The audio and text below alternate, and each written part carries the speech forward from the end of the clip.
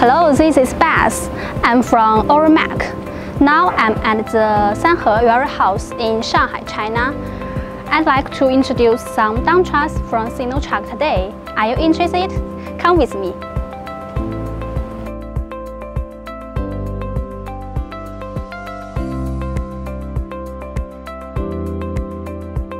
As we know, Sinotruk has always been the top company in China in terms of dump trucks. And the dump trucks we see today is HOWO 70. Let's have a closer look in it.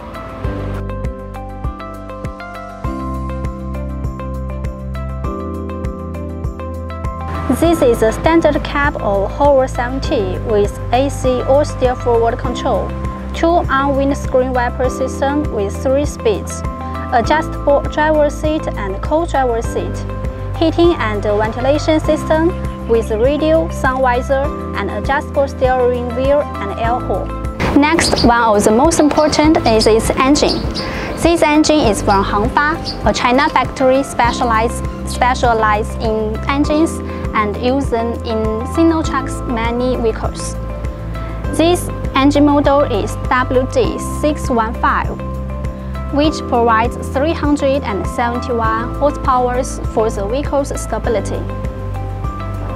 About the dump truck, everyone is concerned about its bucket.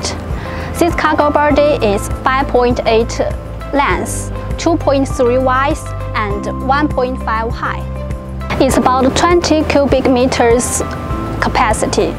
Uh, the bed floor can be thicked or raised according to requirements.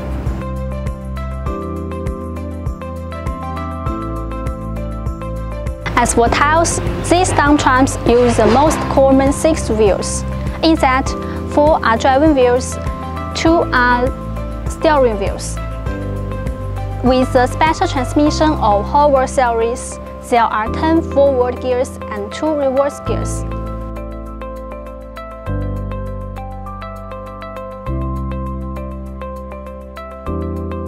That's all for today's introduction. Goodbye!